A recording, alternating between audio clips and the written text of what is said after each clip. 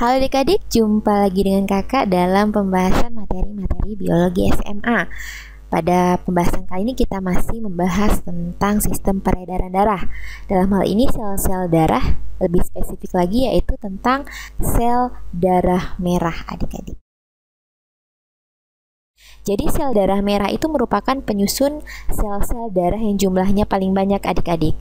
Jadi kalau pada wanita adik-adik ya itu jumlahnya kurang lebih sekitar 4,5 juta per milimeter kubik. Jadi 4,5 juta ya per milimeter kubik adik-adik. Sedangkan kalau pada laki-laki ya di sini jumlahnya kurang lebih sekitar 5 juta adik-adik. 5 juta mili per milimeter kubik. Wah banyak sekali ya adik-adik ya.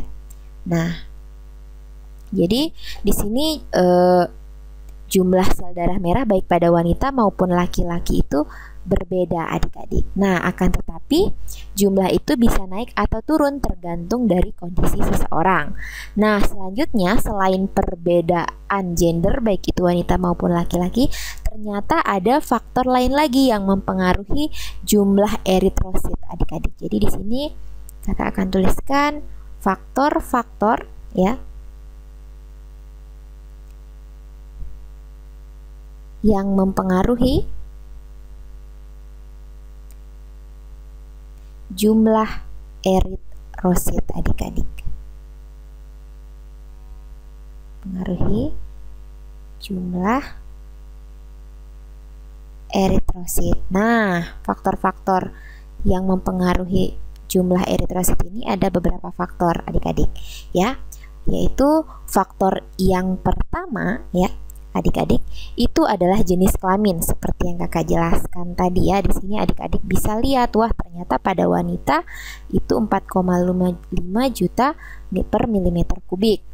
Sedangkan kalau pada laki-laki itu sekitar 5 juta eritrosit per milimeter kubik adik-adik.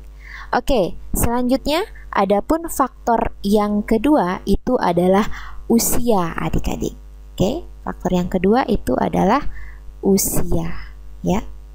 Di mana pada usia ini adik-adik orang dewasa tentu memiliki jumlah eritrosit lebih banyak dibandingkan dengan anak-anak. Jadi di sini yang dewasa ya tentu jumlah eritrositnya ya di sini lebih banyak dibanding dengan anak-anak adik-adik. Nah, seperti ini karena kita ketahui ya, semakin dewasa maka metabolisme di dalam tubuhnya juga semakin banyak adik-adik. Jadi di sini membutuhkan alat transportasi juga semakin banyak yaitu sel darah merah. Selanjutnya faktor yang ketiga ya adik-adik. Di sini adalah tempat ketinggian adik-adik. Jadi daerah tempat tinggal seseorang juga mempengaruhi berdasarkan ketinggian tempat tersebut adik-adik. Dan biasanya adik-adik ya Biasanya, orang yang hidup di dataran tinggi cenderung memiliki jumlah eritrosit lebih banyak adik-adik. Jadi di sini untuk yang tempat ketinggian jadi lebih tinggi itu lebih banyak daerah yang lebih tinggi ya. Di sini tinggi.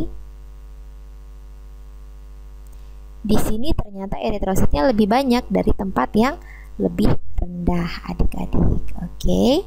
Selanjutnya yang keempat itu adalah kondisi tubuh seseorang, adik-adik. Nah, di sini kondisi tubuh seseorang. Oke. Okay.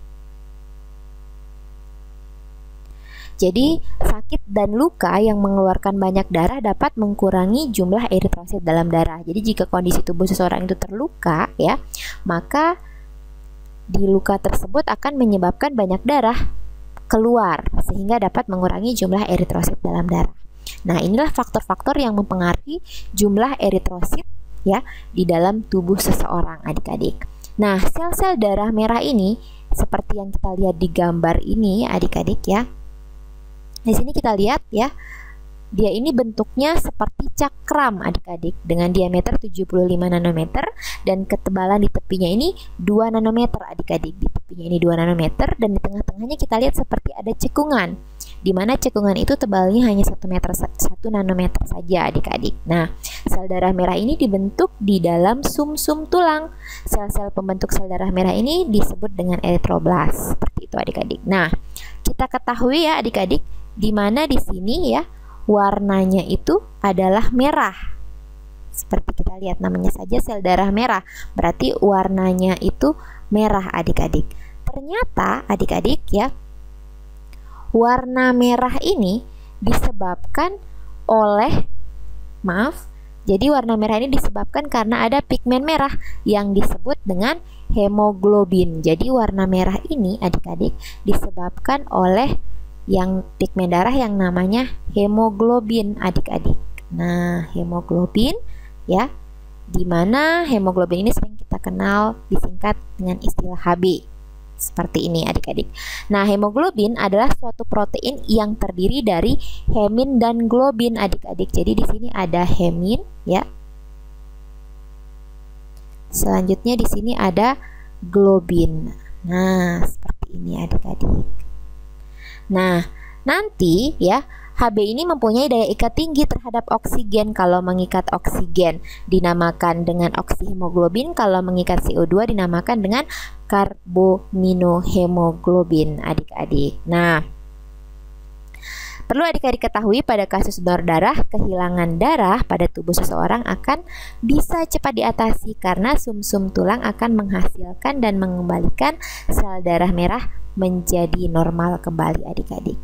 Oke adik-adik, demikian penjelasan kakak tentang sel darah merah atau eritrosit adik-adik. Ya, jadi sekali lagi sel darah merah ini sangat berperan penting karena dia dapat mengikat oksigen, mengikat karbon dioksida, dan memang fungsinya itu adalah sebagai alat transportasi di dalam tubuh kita. Oke adik-adik demikian penjelasan kakak ya. Sampai ketemu pada konten selanjutnya tentang sistem peredaran darah. Dan tetap semangat